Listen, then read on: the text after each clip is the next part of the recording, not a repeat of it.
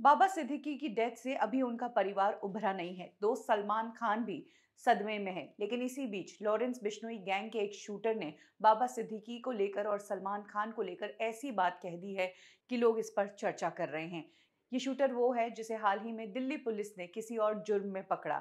इस शूटर से मीडिया की बातचीत हुई। इसी दौरान इस शूटर ने मीडिया के सामने कंफर्म किया कि लॉरेंस बिश्नोई गैंग का वो हिस्सा है तीन चार महीने पहले वीडियो कॉल के ज़रिए लॉरेंस बिश्नोई की उनसे बात हुई थी और लॉरेंस बिश्नोई के कहने पर ही उन्होंने जुर्म किया है। लॉरेंस बिश्नोई से शूटर का भाईचारा है। शूटर ने आगे बढ़ते हुए बाबा सिद्दीकी के लिए कहा कि बाबा सिद्दीकी कोई सही आदमी नहीं था, उस पर मकोका लगा था।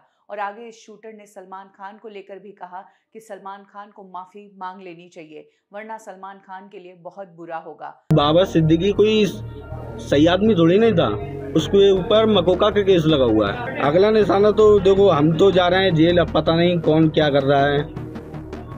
ये शूटर पुलिस की गिरफ्त में था और जेल में जाने वाला था। जेल में जाने के बाद इस शूटर के साथ क्या होगा, इसका खौफ इसके चेहरे पर बिल्कुल नज़र नहीं आया और मीडिया से जिस कॉन्फिडेंस से इसने बात की, ये बहुत कुछ बताता है कि लॉरेंस बिश्नोई अपने गैंग के जो शूटर्स होते हैं या जिन लोगों को, जिन लड़कों को ये अपनी गैंग में जोड़ता है, उन्हें किस तरह से ब्रेन वॉश करता है और उन्हें कैसा कॉन्फिडेंस देता है कि वो पुलिस से, मीडिया से किसी से नहीं डरते।